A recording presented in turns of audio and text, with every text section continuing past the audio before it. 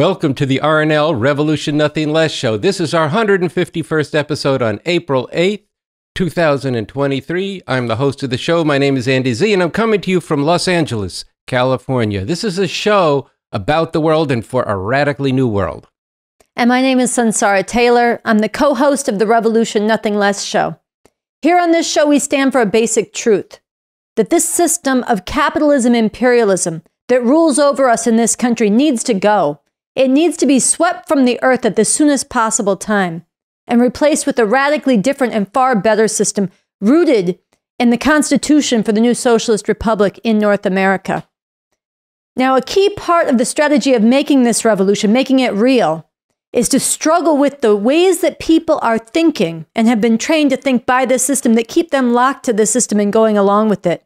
To bring forward a revolutionary people and the organized forces to lead this revolution. So later in the show, we're going to share with you a substantial part of the question and answer period from a major talk that I gave a couple weeks ago at UCLA called Woke Lunacy versus Real Revolution. We're at the end of the show going to give you a way to get involved in this revolution through the fundraising campaign that we're in the middle of. But first, Andy has some things that he wants to say that he came in with, and then we're going to share with you a very inspiring section of the interview that Andy and I did with Bob Avakian, the revolutionary leader that we follow here at this show, who's forged a whole new synthesis of communism, a whole new framework of human emancipation. We'll share an excerpt of that interview with you as well. Well, I took a glance at the morning papers in print and online while fixing and drinking my coffee. And it was striking to me how routine, how normal, and even ordinary the extraordinary outrages have become in these times. How too many people have adjusted to a situation where what would have sounded a huge alarm is now way past the snooze button, a situation where too many have adjusted to profound injustice, a situation where the newspapers and the internet move without blinking an eye seamlessly from the future ending horrors to a better way to make tacos or barbecue, or how to dress and party like a celebrity, a diet of diversion, distraction, and degradation to distort what you think about, keeping your focus on you doing you with an eye that no one gets the better of you. Brainwashing, yes, yes, brainwashing you to ignore, to accept, while New York City and the Northeast is enveloped in thick and poisonous smoke from massive forest fires. The summer polar ice cap is predicted to melt a decade earlier. And what is extremely ominous is the developments in the Ukraine war.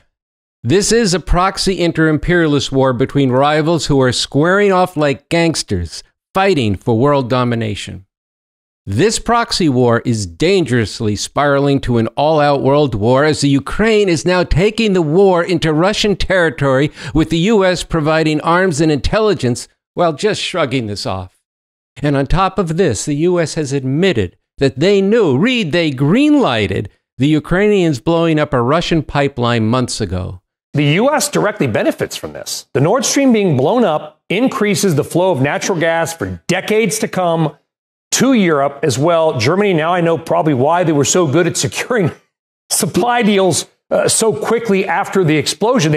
The media every day reports these incidents that escalate the danger of all out imperialist war between the US NATO war bloc and Russia and it just seamlessly moves on by. Turn the page. It's accepted all as routine. It's all in a day's news, just as normal as an article on succession. At the same time, fascists bum rush school board meetings, attacking parents who defend trans students, Fascist parents are egged on by fascist politicians and Christian fundamentalist preachers. Transgenderism must be eradicated from public life entirely. Getting teachers fired and disciplined for teaching history and basic science from Austin, Texas to California. Meanwhile, too many of the people who don't like this and who should be out in the streets and in the public square, who should be defending the people who are under attack, have been cowed and bamboozled into going along with all of this. All of this. But today's show, today's RNL show, is a doorway to change all of this. Today's RNL show is directed at everyone watching. We know that you know people like yourselves who do care, who are deeply concerned who are troubled, who can't stand this world the way it is, who are sick and tired of so many people being treated as less than human, who agonize about our youth, who are tormented by the present and live in fear of the future they face, and they're harming themselves and taking their own lives in record numbers. This alone is symptom of a profoundly sick society. Today's RNL show is for everyone who despairs that the planet is burning, flooding, and heating with life literally impossible now for hundreds of millions who are fleeing their homelands. There is the real prospect of the earth becoming uninhabitable for humanity. Today's RNL Revolution Nothing Less show is reaching out to you, and it is teaching you how to go out to all those people who do care and turn them on to this show, to this revolution, to the leader we have in Bob Avakian, to becoming supporters and sustainers of this movement for revolution, digging into and spreading and taking up the proclamation, We are the Revcoms. Watch today's show, watch the BA interviews, and learn how to struggle with people from Jump Street bringing the sharp shit that calls out the reality we face and fights for people to support the revolution.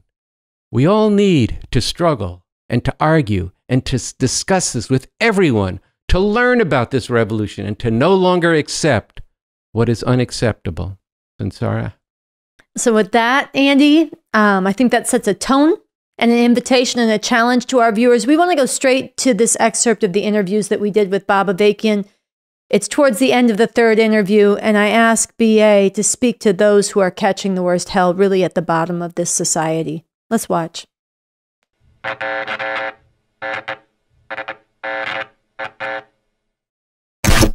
Well, you've led us right back to something we wanted to return to before wrapping up this interview, which is um, the tremendous potential that it's clear you see in those at the very bottom of society youth in particular at the base of society caught up catching the worst hell the youth and others in the prisons which you said the brother on the block or on the street people who right now their guns are pointed at each other to way too large a degree um, all of the vision of what you've described of what's possible to do with state power is not going to happen if we don't make a revolution. And yet, this is a section of people who are very critical to the revolution we need. So, I wanted to give you, and we wanted to give you one uh, further opportunity to, to speak directly to those who are catching the worst hell and treated as the worst of the worst. What is their role in this revolution? And to those going out to them, how should we do this?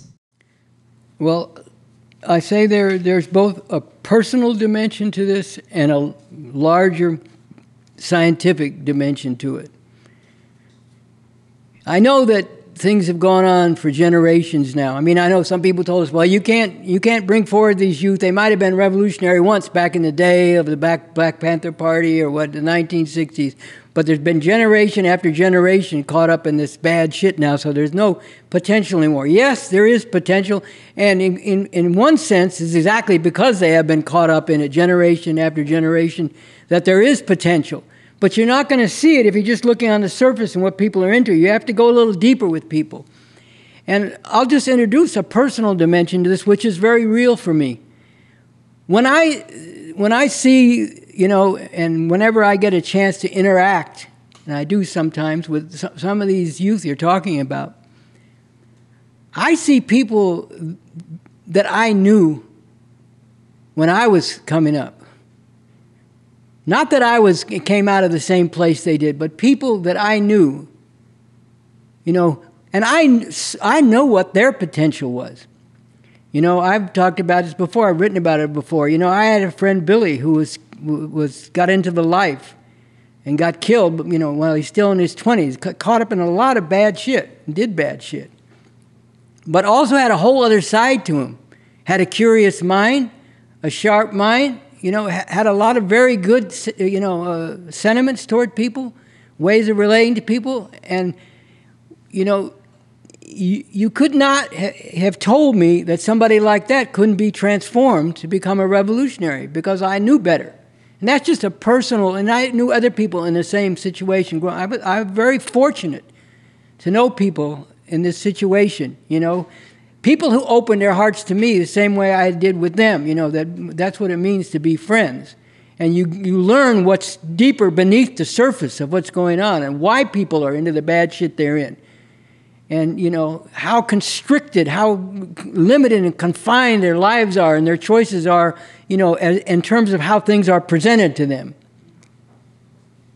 And and so that's like on the basis of that personal experience, I don't care that generations I mean, I care, but it doesn't tell me because generations have gone on that that these aren't basically the same people.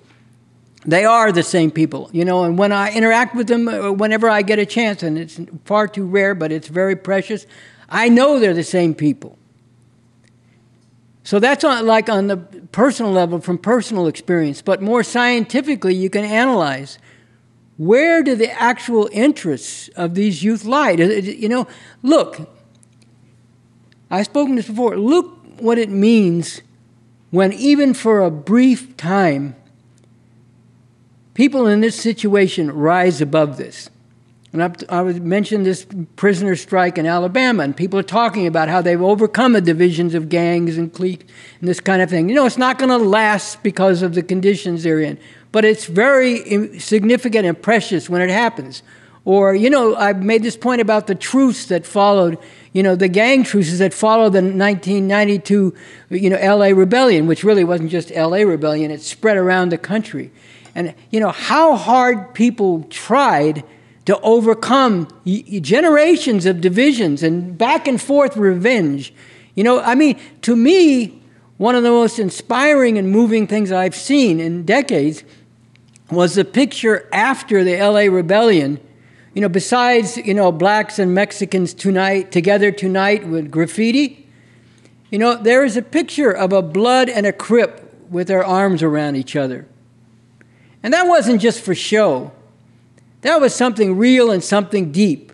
And they tried, they really tried to overcome this, and they put forward a program, but their program was just a program that had no basis and it was also just actually mirroring this existing system. It was a program to establish more black businesses to enable some of these people caught up in the gangs to get into, you know, the economy by way of business and so on. And there's no material, there's no economic basis for that on a broad scale. And it wouldn't lead to the liberation of people either because you know a few people might get into business but then you know most people can't and plus the ones who do are going to be employing other people and exploiting them whether they mean to or not. You know but still look how look how hard people tried. And there was a prisoner you know uh, uh, strike in california a number of years ago the same kind of thing yeah, the gangs are still in there, and yeah, there's bad shit, but they they rose up and overcome that for overcame that for a short period of time, and that shows the potential, and it also shows that there's something deeper in people than what they're doing every day and what they're caught up in. That they they you know reach for something better, something higher. They they want something different, you know. And if you if you get people away from what they're caught up in and talk to them heart to heart, they will, they will tell you in many cases, most people want something different, even if they're caught up in this and they don't know how to get out of it. And that's where we come in, the revolutionaries, the people who have come to understand that there's a whole different way. We have to go to the, these youth and others. Yes, we need to go to the educated youth. You're not going to make a revolution without people from the educated youth. That's very important for the revolution, including critical and creatively thinking people who have a capacity to, you know, work and grapple with complicated ideas. We need that. But we, your question is very much to the point about you know these more you know youth down on the on the street you know the the hardcore youth you know there is burning within them because nobody, look, nobody wants to live the way these youth are being forced to live.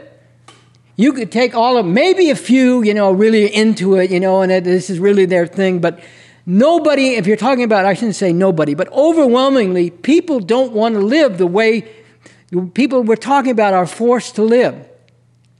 But this system, we could go into why and how, you know, it, it deindustrialized a lot, you know, all these areas that people live in, you know, like the south side of Chicago. used to be these factories, a gigantic steel plant, U.S. Steel, that people used to work at. Gary, Indiana, which is now a ghost town, had the biggest steel plant in the entire world, I think, going back a few decades. And a lot of black people worked there. Those places are closed down. These youth coming up, they have no future. And that's because of the workings of this system. And there is a burning down there. It may be simmering, it may be just a flickering flame, but there is a burning for something better. And it is up to us to provide the vehicle and the means for all these masses of people in this situation, including these youth, to become part of fighting for something better. And yes, it goes back to the previous thing. We're not going to do it without a lot of struggle.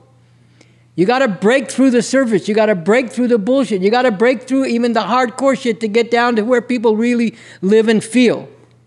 And then you got to struggle with them about what your life should really be all about.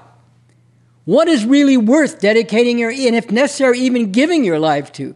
Not that we take that lightly, we certainly don't. You know, we understand that, uh, you know, as Mao said, of all things in the world, people are most precious.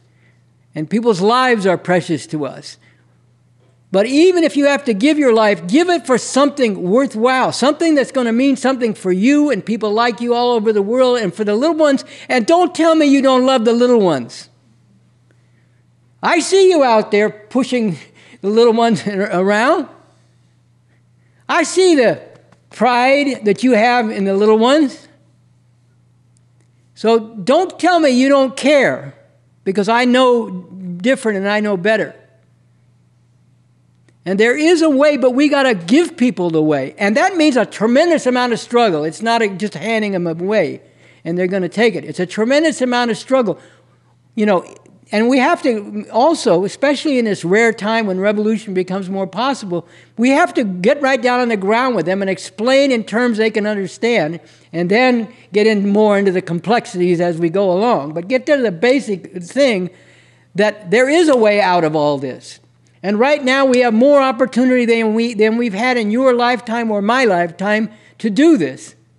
And we can't afford to be wasting this time and this opportunity in bullshit. We got to get with this revolution so we can get all this shit off of our backs and make a future for the next little kids you're pushing along that's worth living for so they don't have to go through what you are going through now, which isn't what you wanted to go through, but it's what the system has put you in the place of to have to go through. We have to go and present this to them in a living way. There is a way out of this. It's not an easy way, it's not a guaranteed way, but it's a real way. It's a real possibility, especially in this time when we're talking about where the conditions are more favorable for revolution, even as they're tending right now towards something terrible. With the ruling class divided and fighting each other, with society being ripped apart, with the potential for this to rip apart all the dominant institutions in society. You know, one of these youth said, Well, you know, if I get with your revolution, my chances of being taken out are just about 100%. But if I do what I'm doing, going up against people like me, maybe my chances are 50 50. Well, that's just wrong, like I've said before. You know, it's wrong in terms of what your life should be about, and it's wrong in terms of, you know, uh, the, the possibilities for revolution. Because we have a real strategy and we have a real, you know, method to grapple with the problems that lie on the road to revolution and actually break through and gather more and more forces to where a revolutionary struggle for power could actually have a chance to win. And you can't ask for more than that. You can't ask for more than a chance to win to get this whole fucking thing off your back. And this is what we're aiming for, and this is what we got to take to people and explain to them and struggle like hell with them about what speaks to their deeper feelings and hopes and aspirations, not just the shit they're caught up in on the surface.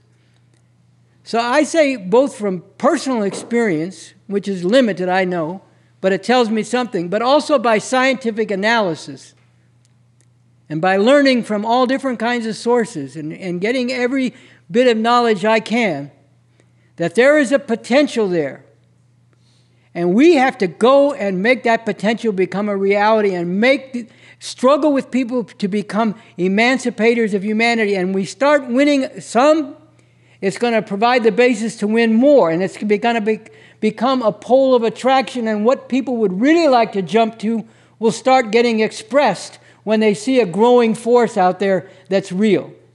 And so this is my answer. We got to, you know, we have what these youth and the mass of people need, but it includes a lot of struggle with them, and we have to go and take that to them and wage that struggle because this is for ending all the shit that they're, that they're being forced to go through. And all the shit that humanity is being put through and that they're threatened with now with the destruction of the environment and this danger of nuclear war among these imperialists, we have to go to the people and give them the means to do what deep down they would love to do if they could understand scientifically that there's a basis for it.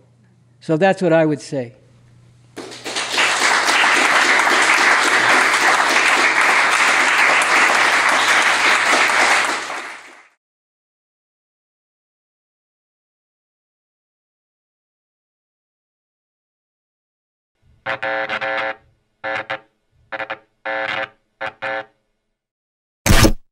You can't ask for more than that. That's a, you know, Sunsara very important stand and point that he's making right there. You know, with all we've talked about at the beginning of the show, all that was brought forward before this in the interviews of the situation that we face, and if there's an actual chance, an actual chance to make a revolution, that's something you can't look away from. You really can't ask for more than that. Of course, people have questions. The people you're going to go out to are going to have questions. They're going to have, could we really win? What comes next? How do we do this? What about the history of communism? All these kinds of things. These are all real questions, and we have answers to it, to them. And you know, as I've said many times on the show, and we've gone into here, Bob Avakian, his most important breakthrough is in putting communism as a science on a thoroughly and consistently scientific foundation, which means there's a method and approach for you to analyze reality as it's actually developing and to discover the pathways to achieving these objectives. And he's done tremendous work on this. So we have answers, and we also have a way for you to do that. And if you watch the interviews, you're going to find all that. And the other thing that really struck me is he poses the question of what is your life going to be about? Now, he's addressing here very specifically those youth who are on the bottom of society who need to be the backbone of this revolution. But he's speaking to everyone here, and he actually says that. He's speaking to everyone, as I said at the beginning, and is in the beginning of the, the preamble to the uh, We Are the RevCom's proclamation, to everybody who cares about the future, who cares about humanity, who has the heart to fight for something better and different. Yeah, I'm like you. I'm so uh, struck even having seen it before and being in the room when we did those interviews by how much heart and revolutionary determination and optimism that Bob Avakian conveys in even in the face of all the horrors that are hurtling towards people in this world right now and everything that those on the bottom face and strategic confidence and nerve to struggle with people to rise to what they're capable of as makers of this revolution so we wanted to, again, as you just mentioned, point to the proclamation, We Are the RevComs, which really concentrates uh, why we need this revolution and how we're going to go about, as it puts it, seizing on this rare time that Bob Avakian talked about. More possible to make a revolution now than at any time in his lifetime or ours or anybody's watching. A rare time when the rulers are fighting, when society is being split apart, and the chances of making this revolution are heightened we are determined to defeat this system and to bring forward the forces needed, the people, the revolutionary leadership and, and organization necessary to be able to lead millions to defeat the violent enforcers of this system, to abolish this system and its institutions, including its constitution, written by slave owners and exploiters that can only ever serve to perpetuate a system of exploitation, and to establish a radically new, liberating society and system as set forth in the Constitution for the new Socialist Republic in North America that Bob Avakian authored and that he goes into in the interviews and brings alive. Um, so this We Are the RevComs proclamation is a tool, it's an anchor, and it's a way to spread this revolution. Yeah, I just want to say, you know, first off, it was incredible to be able to do those interviews. And these interviews are incredible for you to actually get into. You know, um, these are three interviews, each about an hour and a half. And these are just a master class in method and approach in how to actually go out. You want to know how to struggle with people? Watch these interviews. You want to understand what's happening in the world? Watch these interviews. You want to know how we could actually make a revolution? Watch the interviews. You want to know what's coming next? What comes after that? What kind of society we're going to have? Watch the interviews. And as I said on the live stream, when you get a sense of the point you just made about the tremendous heart and soul, that gives you a sense of the character of the leadership of this revolution that's modeled and fought for all the way through our ranks and that you can be about too. So I just, if you're watching this show, part of supporting the revolution is going out this week to 10 people and seeing to it that they watch those interviews. Get it in front of them and then give them a shout in a few days and see if they've started them. And it's been our experience with those who've watched it. It's only uh, several thousand people at this point. It needs to be tens and hundreds of thousands of people and ultimately millions of people. If they haven't watched it, get into some struggle with them because there's nothing else like this. And it's actually could be what's a game changer in bringing people to this leadership, to this revolution, so that they themselves become emancipators of humanity.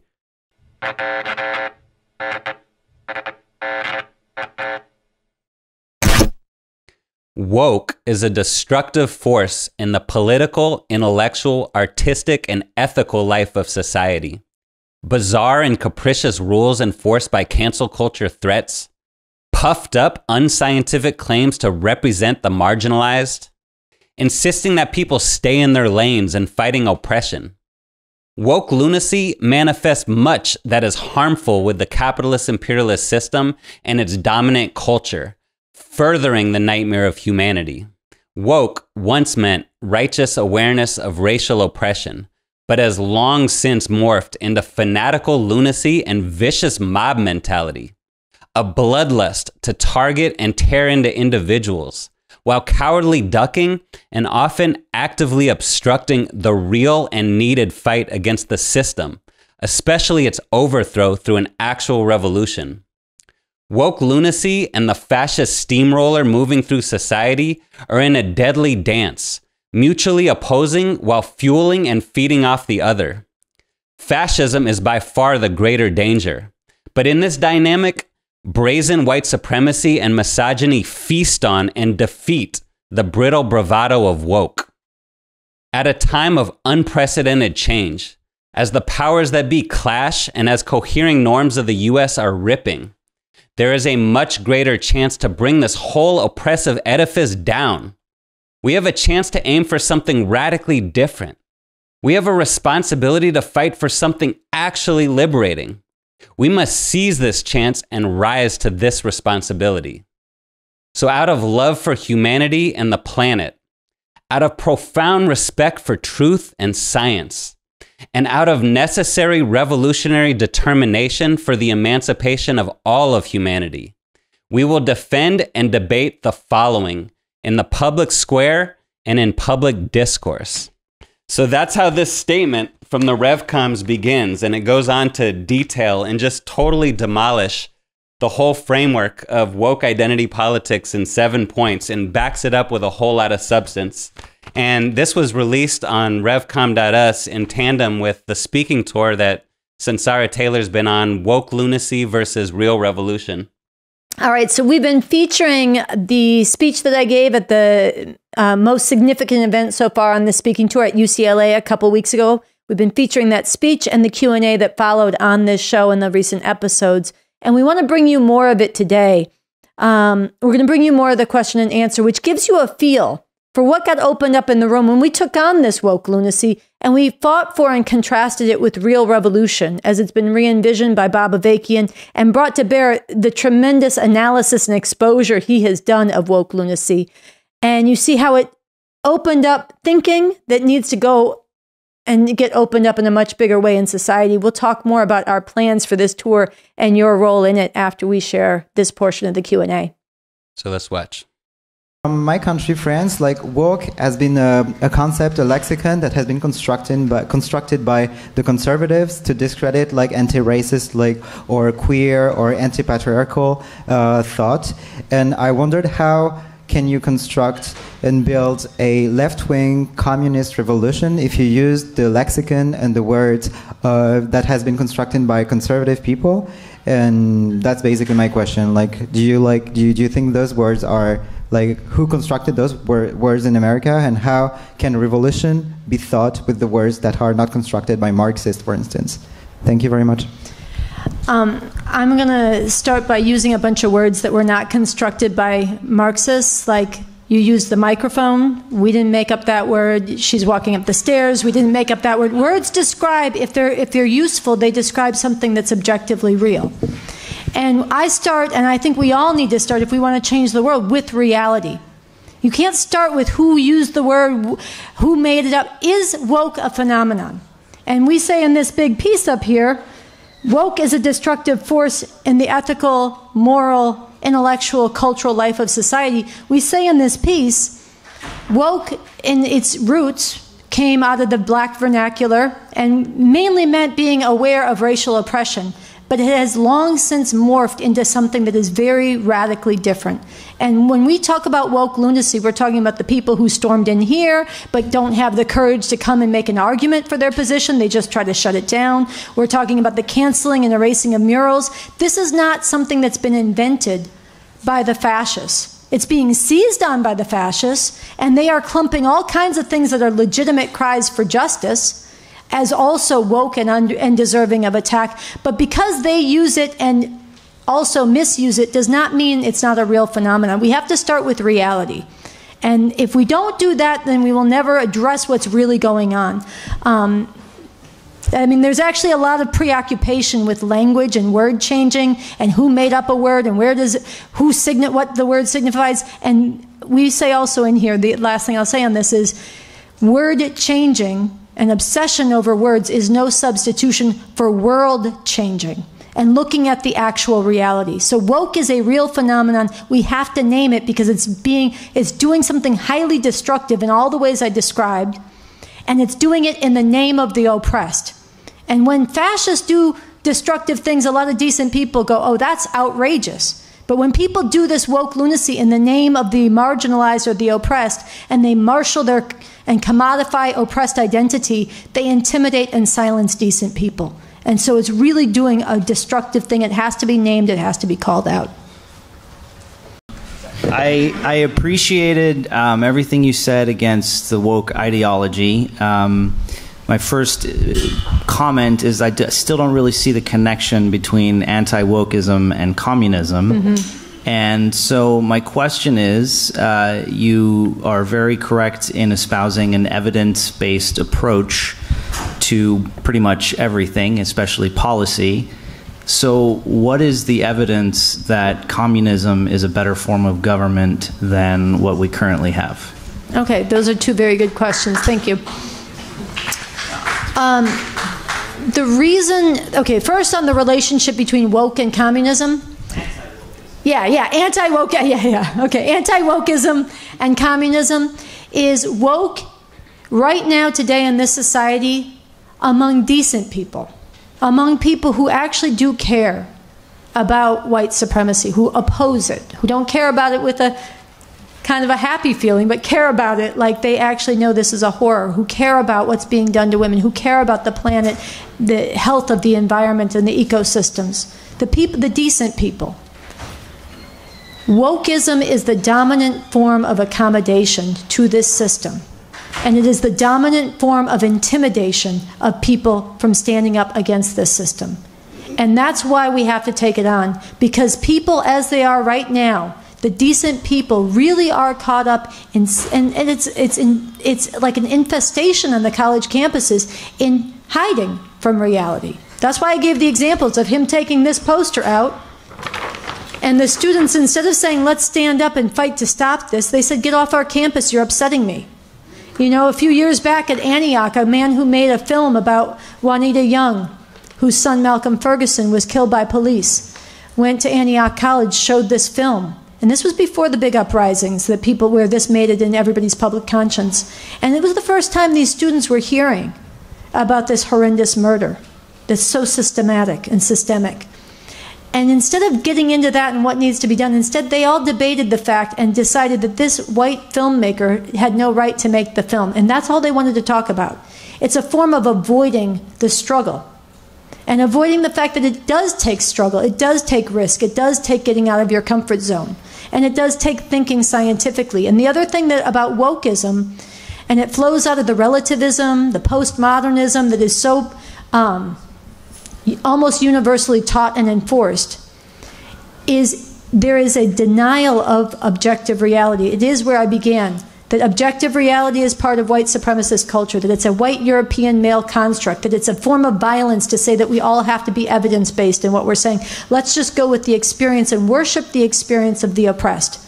And it's intersectionality, centering the marginalized. Yes, people experience intersecting forms of oppression.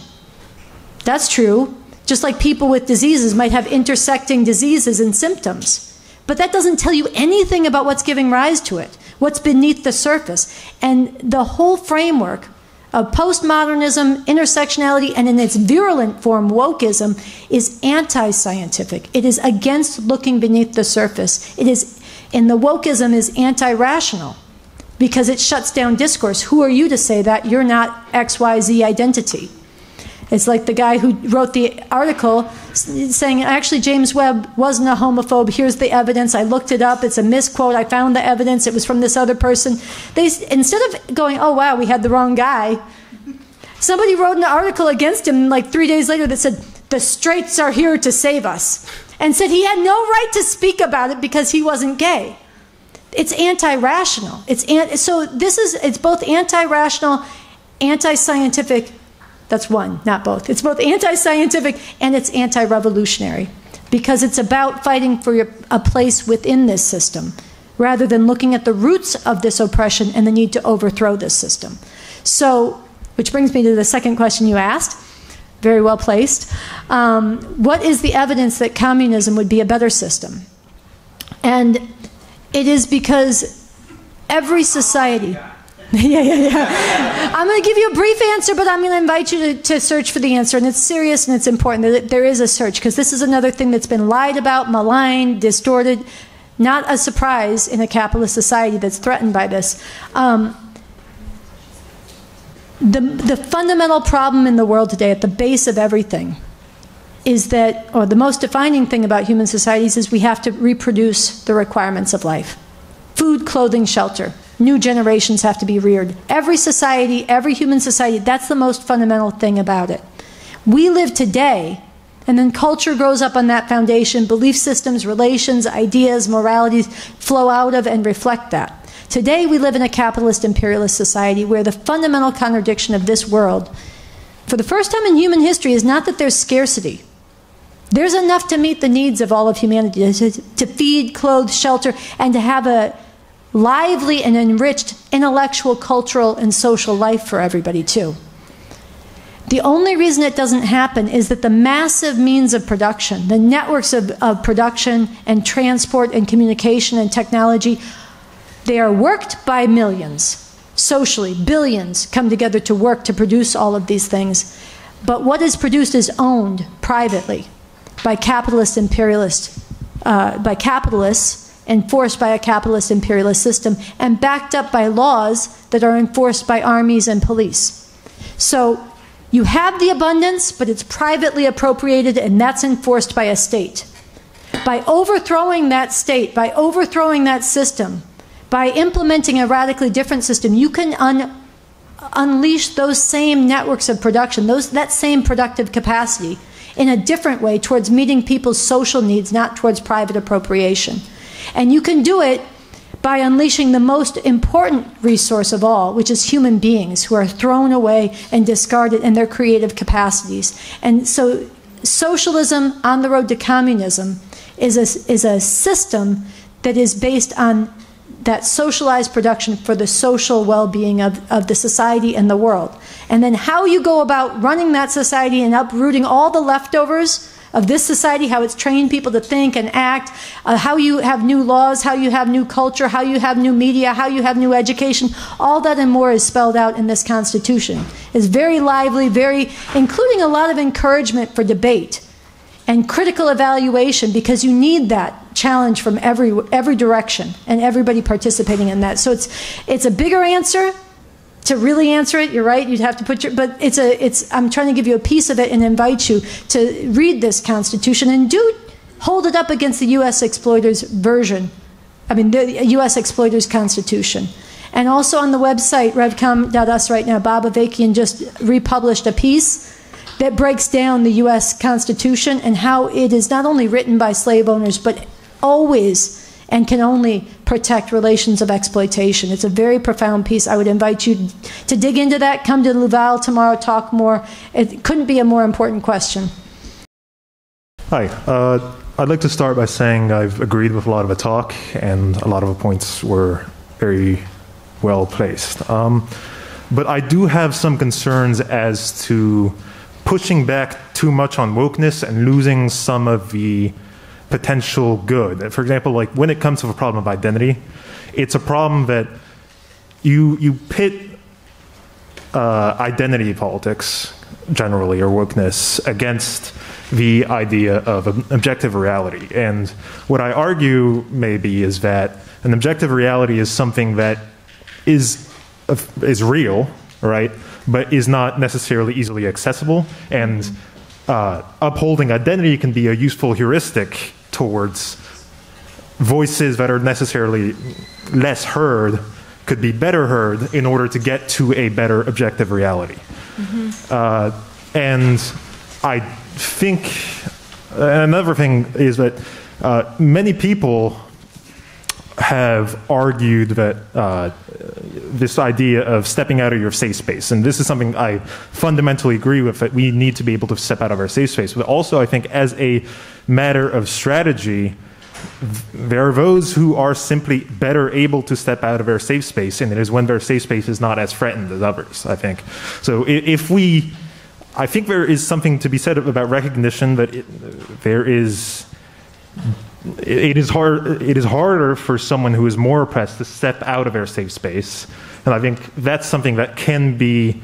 overlooked in discussions about the excesses of wokeness is that space needs to be made for comrades who find it more difficult because of their situation mm-hmm. to step out and learn this reality mm-hmm. okay so i want to respond to what you're saying this way um, it is absolutely the case that there are people, oppressed people, whose voices and experiences have been erased, suppressed, distorted, lied about, and it is profoundly important that we hear those voices and learn from those experiences. That's why I gave the example, I mean, in the speech, there's many that could be given of this woman in Harlem, and it said everybody should learn from that experience. It matters when the parents whose children have been killed by police speak about that and tell and expose that to the world. Everybody should hear those experiences and those voices. And the and the institutional forces and the cultural forces that have suppressed the voices of the oppressed and the stories of the oppressed and the histories of the oppressed need to be fought against. So that part is very important. But where identity politics and wokeism goes wrong and why it needs to be fought is that it tells you you have to stop there. And that then all you can do is follow the experience of the oppressed. But just because you're oppressed does not mean you know where that oppression comes from, what gave rise to it, how it should be ended, what it will take. Most people have no idea. That takes science for everyone. Now, oppressed people, just like anybody else, can take up the tools of science, but there's a struggle between communism and rationality and scientific thinking on the one hand and wokeism on the other, which is actually not just fails to look beneath the surface, but opposes that. And this is where it does great harm. And you do see people, you know, shouting down others, canceling others, refusing to, to look at the evidence they marshaled because of their identity and that's destructive. So that was one part of it. You also raised. Um, safe spaces. Oh, safe spaces. It is absolutely the case that some people face much higher risk when Sean Bell was killed by police. Most of you are probably probably way too young. Some of you probably weren't even born. He was shot 50 times on his wedding day in Queens, Jamaica, Queens, black man. Um, when he was killed by police, we went out, the RevComs went out to the neighborhood that he was killed in and that he lived in, and we organized people. You were part of that, right? Noche Diaz was a big part of that. Um, to stand up against that. And one of the most striking things at the time was that all these young black women came out, and none of the black men came out. Young black men. And as we talked to them, because a lot, they were furious. They hated this, but as we talked to them, they all had uh, charges hanging over them. So if they got picked up, you know, you get picked up at a protest. Maybe if you're a student, it's, it, it's something that's an inconvenience. You want to fight it, but it's not going to threaten your whole life, most likely. But these guys, it could be 15 years. It could be life. It was, it, you know, they're facing charges already. So it was much more risky for them to get involved. And ways did need to be found for them to get involved in the revolution and in this struggle that didn't have the same immediate risks for them.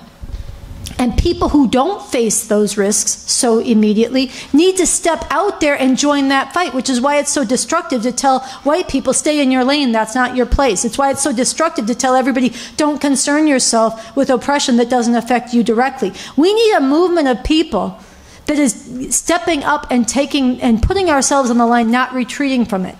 So those unevennesses those unevennesses are very real and very profound, and we have to have the maturity to traverse them together. But the goal cannot be realized of safe space for anybody in this system. And so, while we should take into account those unevennesses and people need to put it on the line and take greater risk where they have more ability to do so, everybody has to put it on the line in one way or the other because this world, there are things bigger than one's safety much bigger than, than any individual safety. And in, you know, in the struggles Bob Avakian I quoted from him, in any real struggle against real oppression, people stand up and they sacrifice. There are many Black Panther Party leaders and fighters who gave their lives. There are many people in the fight uh, in the, for civil rights who gave their lives, and it was right. There was many people who gave their lives in 2020 uprising against the killing of George Floyd and Breonna Taylor, and it was a righteous thing. It was a, it was a life given that had meaning. We don't want that to happen. But that's because of the system that we live under that carries out this terror and repression. That violence is on them. And if we want that to stop, we can't hide from it. We have to get them off this system, off the face of the earth, and off the backs of humanity. Because every day that they go on, millions and millions of people, 1.9 million people in the prisons have no safe space. The millions of women who are pregnant and desperate right now, in Kentucky and Texas and Florida, they don't have a safe space. So we have to step out of our comfort zones. And while we do that, we take into account these differences. But safe space as a goal is bankrupt and it is an illusion. Because there is no safe space in a nuclear war, there is no safe space in a fascist America, and that's where we're headed. So we have to, we have to lift our sights and we have to become much more daring. So that was a really exciting uh, question and answer, and that's just a little taste of it. We'll show more next week, but you really get a sense of how you know this woke framework, which has been paralyzing and suffocating a whole generation of students and artists and intellectuals, you know, especially on college campuses like this, you know, how that framework can get can get broken, you know, and people can get exposed to a whole different way to understand and change the world and have their sights lifted to, you know, a whole different way to organize society. You were bringing them the Constitution for the new Socialist Republic in North America. So this whole experience, you know, which we saw, you know, in a microcosm at UCLA, it needs to get scaled up in a big way. And, you know, we have big plans to take this tour all over the country and and really uh, break open this discussion and debate, you know, uh, throughout society. Yeah, we are really fighting for a young generation. Look, you can't make revolution without youth, without students, without young people. And like you said, they are they're indoctrinated and suffocated by this wokeism or intimidated by those who are. And we are fighting to demolish that and to win people to an actual revolution, to seize this rare time when revolution is more possible. And I think what you saw in that room is a microcosm of what we want to open up in society, which is people actually thoughtfully debating, engaging, trying to sort out what is right, what's wrong, and through that process, winning blocks of people to real revolution. So we want to take this much higher, and we want to call on all of you who are watching to get involved in this. And the number one first thing you need to do is to go to revcom.us and read the work from Bob Avakian on woke lunacy. There is nothing like this. If you do not do this, you really have no you're disarming yourself to understand what this framework is, why it's so damaging, where it came from, and how we can take it on and win people away from it. And then after you do that, and as you're digging into that, we also want to call on you to, to write to us, to volunteer, to work on this effort, to get this speaking tour out, to get this takedown of woke lunacy out in the world. Download it from revcom.us, take it out to museums, to theaters, to places where where you know events at libraries or other intellectual events and on campuses over the summer. Um, and meet people. Raise money with it. Donate to this. And write to us to get involved so that we can really use this summer to spread this and then really take the campuses by storm in the fall. That's our plan all right we'll be uh, back with more next week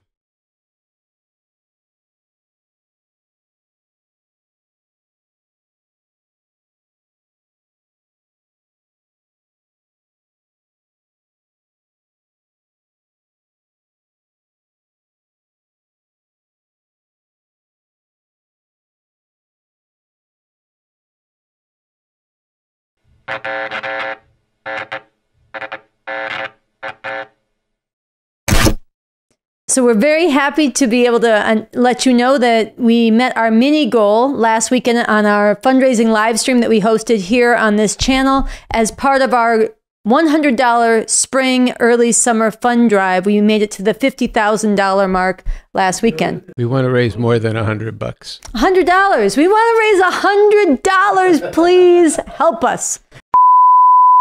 All right, scratch that. I stand corrected. We need to raise $100,000, much more than $100, but we made it to the $50,000 mark, which is a good beginning.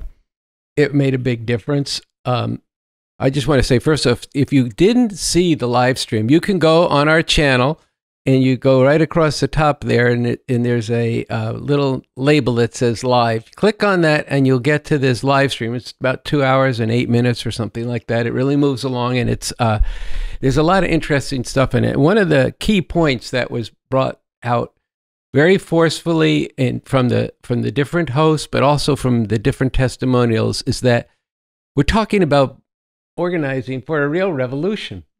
That's going to take both a lot of people millions ultimately to make the revolution and tens and hundreds of millions to support the revolution. So when we're raising funds now and people are donating as they're just finding out about the revolution or, or, or have questions about it, you're actually part of a network of people that will be that can be counted on in a, in a changing situation and in a change situation when revolution comes on the agenda. So this isn't just about raising uh, funds, it's about raising donors. And this is why we came up with this plan. This is the second point I want to make. The plan was in raising, yes, I'm sorry, a hundred a hundred thousand dollars. A hundred thousand dollars, and we're close to fifty-one thousand dollars now. We extended the fund drive not just to get to the goal, that's important, but to involve more donors, new donors. And so we set a, a, a another fund drive, another a live stream. Yeah, right. In two and a half weeks from now on Sunday, the 25th of June. And we're asking everybody to look at today's show and look at the live stream and from last week, and then go out and get 10 or 12 people to watch at your house, to watch it themselves. And if you can get 50 people to watch it in the backyard, put it up on a screen, that'd be great. But you, we need to get a lot of people watching June 25th live stream. Then we're going to have a number of fundraising events around the country on July 4th weekend, as well as some other things. Stay tuned to the RNL show next week to find out about that. And then on July 16th, we got to bring this home and not only raise $100,000, but hopefully get out, go over over the top on it. So one of the things it's true, get everybody you know and, and people you don't yet know, go spread this revolution to them. Going and asking for funds is a way of spreading the revolution and raising the funds that we need to fuel everything we do at the show in this movement and much more that we are aiming to accomplish. And like Andy said, like you said, it's a way to raise donors and people. Um, so don't just get them to tune in in two and a half weeks. Ask them for money now as you are doing this. We want to share uh, one of the many lively portions of the live stream that we did last weekend on the fundraiser.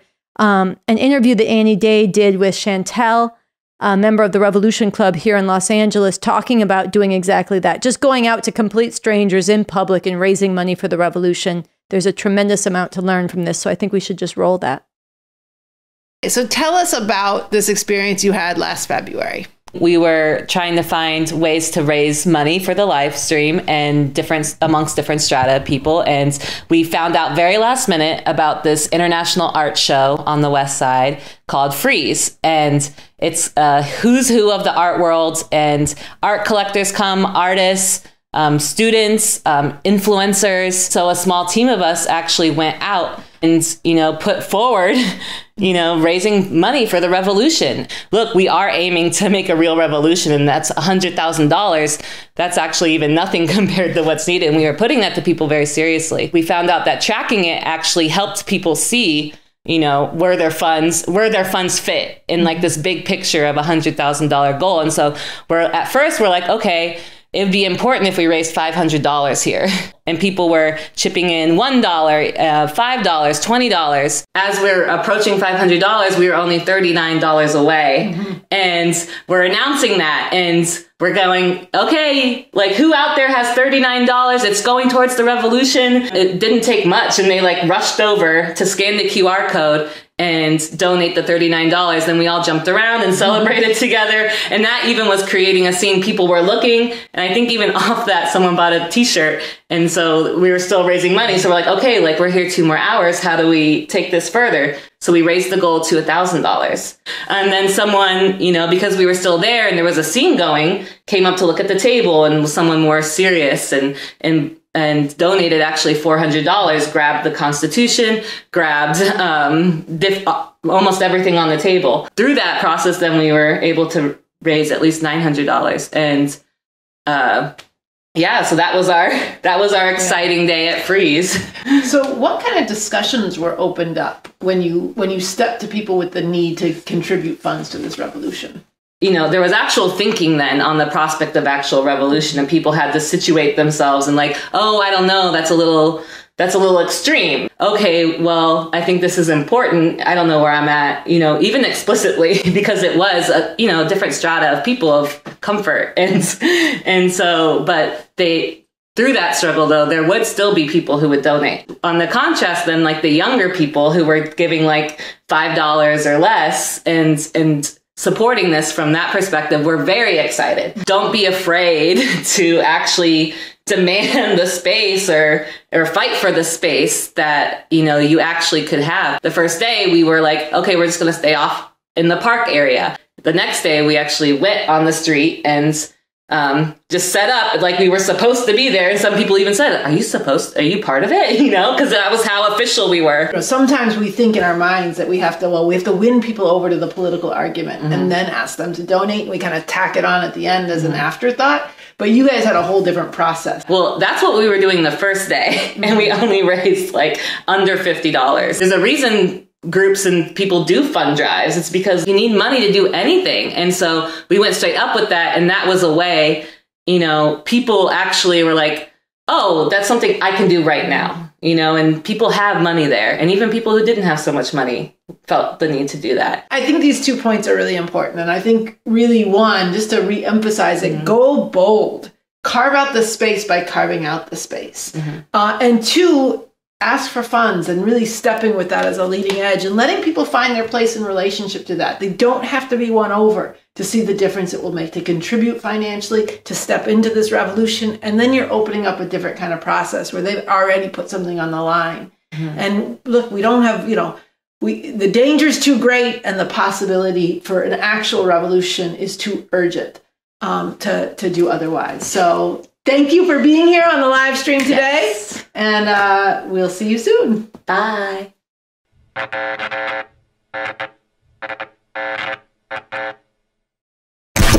Oh man, uh, Chantelle is something that was just really live wire. She looked fantastic, and and the and how they did that and what they learned through going out those two days, very very important. You mentioned that we need to, and I also was speaking about continually integrating fundraising into the work of building a movement for an actual revolution. Uh, one thing I want to point out is that there is a way, and a very important way, that you can give continual support to the revolution, sustaining the revolution. One thing is this show. We have a studio that we are sitting in. You You've seen that uh, every week, uh, and we have a crew that works. You know, we, it takes us a week that works on this show all through the week. Uh, this takes money for rent and for equipment and for uh, high speed internet and all of this. We need Patreons for the RNL show. Right now, we're having to, uh, we don't want to have to rely just on special fund drives to keep this show on the uh, internet. We want that it should be able to be supported by the people who view this by being a patron every week. And there are certain segments and uh, materials that we get that the patrons get to see either before others and some ca- cases that aren't shown more more broadly. So join that community and sustain the RNL Revolution Nothing Less show. Well, I'm glad you brought that up because if you hadn't, I would have. Please do become a Patreon and spread this show, spread the revolution, ask for money. Tune in next week when we'll be back with the regular show and definitely mark your calendar for June 25th and July 16th for those two punctuating live streams where we're going to make meet our $100,000 fundraising goal and hopefully exceed it. So, Andy? so uh, in terms of the skill with numbers, it is my responsibility. Your the, great honor and privilege. Honor and privilege to tell you that when we come back next Thursday night, it will be at 5 p.m. Pacific time, 7 p.m. Central time, 8 p.m. Eastern time. But the important thing to remember is the RNL show is the show that you need to watch and bring all your friends to watch it. It's the all the episodes are online all the time. You can watch it anytime and many times. And so for the full crew of the RNL Revolution Nothing Less show, I want to wish you all a good night and we'll see you next week when we're going to be making a special announcement.